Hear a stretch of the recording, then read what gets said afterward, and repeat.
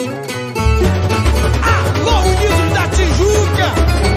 Mostra a tua força! Mostra a tua alegria! Te amo, Tijuca, além dos meus versos e até as paredes. Confesso que Deus eternize essa união da terra da serpente com o de dele.